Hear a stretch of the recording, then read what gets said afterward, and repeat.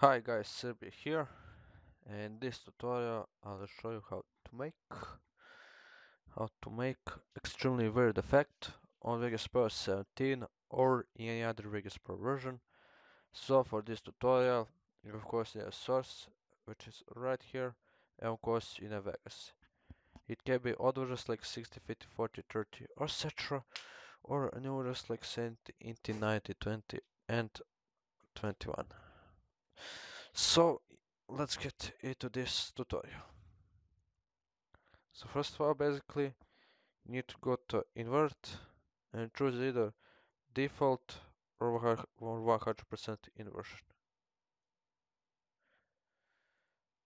Then for the next next thing you need to go to color curves and choose the option of blues and yellows. So yeah, basically this how it looks like this.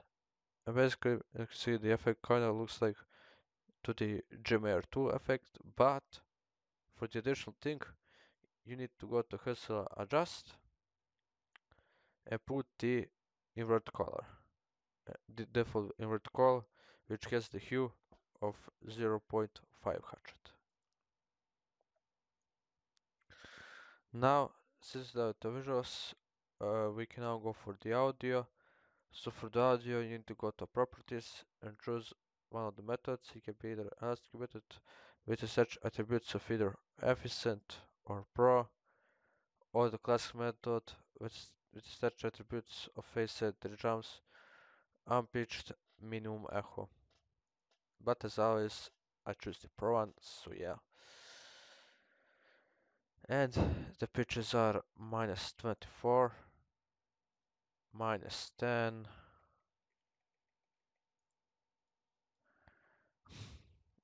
0 8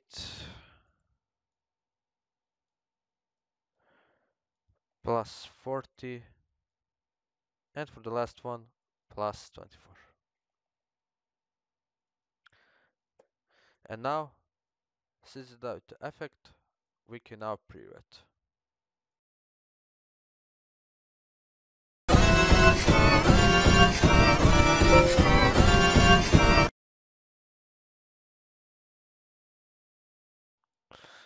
Alright guys, so that's for this tutorial. This is me, sign off.